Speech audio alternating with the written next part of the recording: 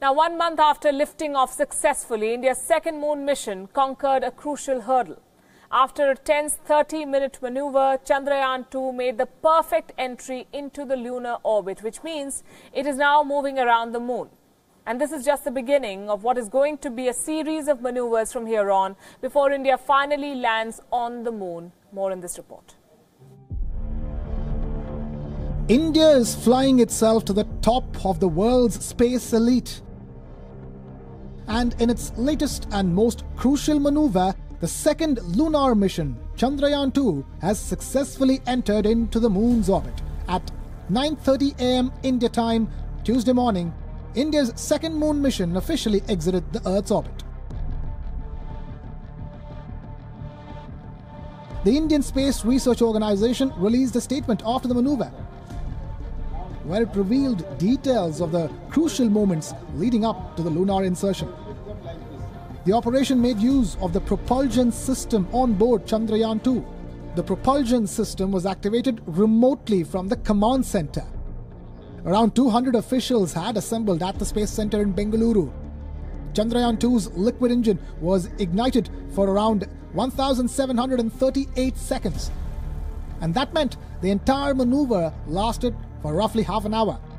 ISRO chief Dr. K. Sivan said that those 30 odd minutes were tense. The precise uh, lunar orbit uh, insertion maneuver carried out at uh, 9 o'clock for about 30 minutes precisely injected the Chandrayaan 2 in a defined orbit in a perfect way. Anxious officials who worked on it day and night rejoiced in unison the moment the operation was complete.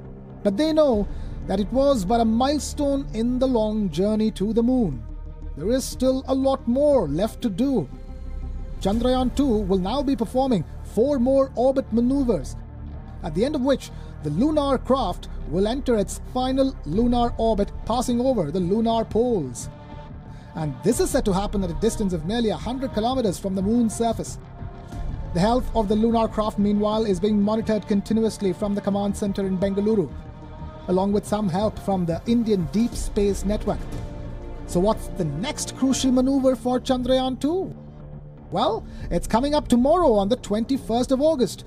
That's expected to take place somewhere in the 1-hour window between 12:30 and 1:30 p.m. Indian Standard Time.